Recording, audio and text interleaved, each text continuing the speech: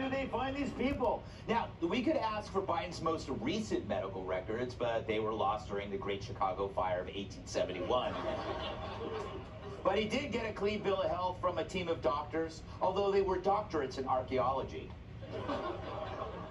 But as luck would have it, President Biden did undergo a recent cognitive test of his own, too.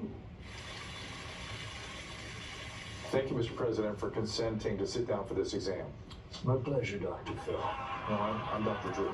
No, I know who you are, Drew Bledsoe. All right? Look, here's the deal. My wife's a doctor anyway. She's not a TV doctor like you. Okay, hit me with your best shot. Okay, well, we're going to do what's called a mini mental status exam. Just very simple cognitive screen. So I want you to repeat these five words. Five words. No, no, these five words person, woman, man, camera, TV. Woman, person, uh, man, TV, radio, record player, uh, Hannah Montana. Let's try these three words, and you repeat them after me. Automobile. No, uh, kitchen sink, Kisses. bouquet of roses, Bouquet of roses. pair of shoes. Pair of shoes.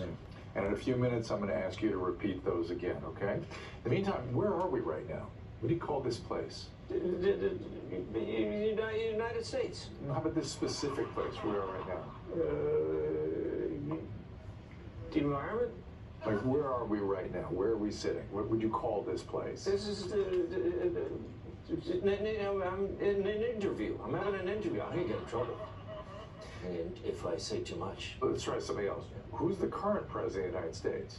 Barack Obama. How about those three objects I had asked you to repeat for me? The, the, the bucket, bucket of flowers, uh, sh- a pair of shoes, a bucket of pop, bucket of popcorn, popcorn, corn pop. That's who you are, corn pop. I'll take you down the floor. I'll do it again. No, it's President, I, I'm Dr. Drew. I know who you are, Drew Carey. You know, so the price is right. Come on down. Give me a break. Thank you, Mr. President.